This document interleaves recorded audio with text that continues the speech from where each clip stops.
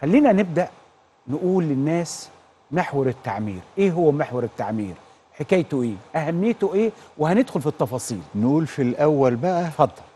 أصبح اسمه محور أبو ذكري في الأيام الأخيرة. آه. هو لسه الناس كلها تعرف إن اسمه محور التعمير صح. لأنه هو طول عمره اسمه محور التعمير. أيوه.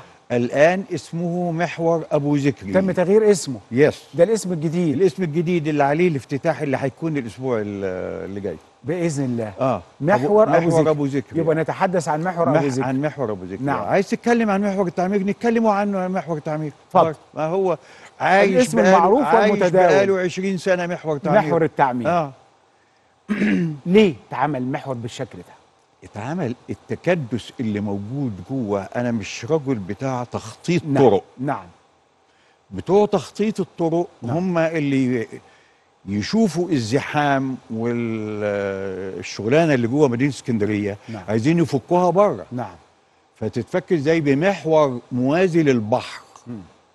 طب يجيبوه فين؟ لازم يجيبوه جنوب الإسكندرية. نعم. جنوب إسكندرية اتعمل محور ال- التعمير القديم اللي كان حارتين أو ثلاثة في كل اتجاه أيوه. وعاش 15 18 سنة وثبتت الأرض بتاعته وبقى تمام وشغال. جايين إحنا بقى دلوقتي نعمل 18 حارة. تسعة وتسعة ونحتوي الستة القدام أو الأربعة القدام معانا. فنستخدمهم في شيء والجديد يبقى شيء آخر. نعم.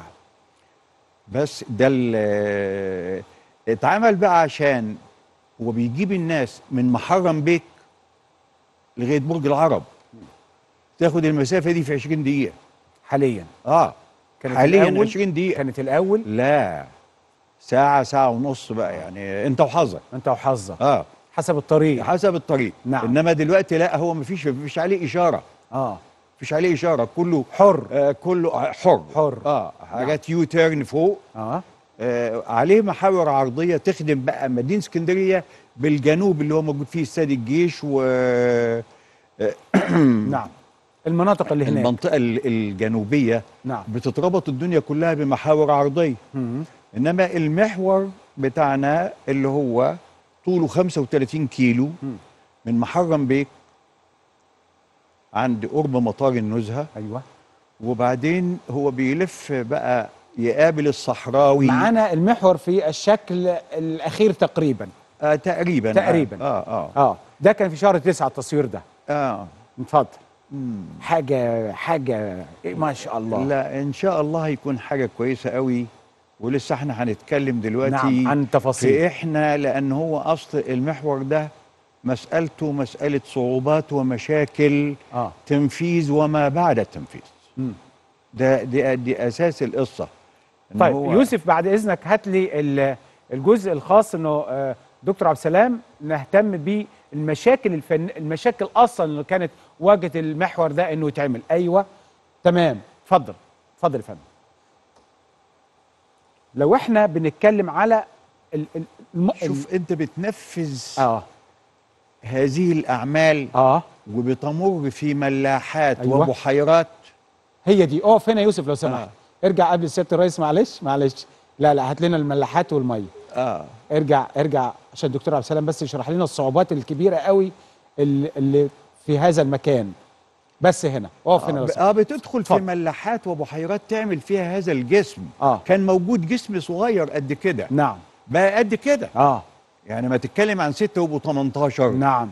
فأنت محتاج إيه؟ ثلاث مرات فأنت محتاج تردم تردم ردم. إيه؟ ملايين الأمتار المكعبة رد ردم. المشكلة مش في الرد الطين الطرق. بنقدر إحنا اسمه man made آه صنع الإنسان آه نقوم نعمل صنع الإنسان أيوه بجودة تحكم نعم. اللي بيسموها quality control. نعملها 100% مم. إنما طب اللي تحتيه من الأرض الطبيعيه مم. اللي هو هنا. الخالق آه عمل إحنا بيروح الراجل اللي عمل مم. الأستاذ الاستشاري نعم اللي عمل فحص التربة لهذا المسار أستاذ بجامعة الإسكندرية. وبتتعمل جسات على مسافات. الجسه دي عبارة عن ثقب في الأرض بينزل لأعماق لغاية ما نوصل لأرض سليمة ونعرف إيه التكوين من سطح ال... من تحت المية. مم. أيوه. لغاية ما نوصل لتربة سليمة إيه اللي موجود. لقينا هنا إيه؟ فاللي موجود هنا بقى طينة من اللي تمسكها كده تعملها زي زي السفنجة. يعني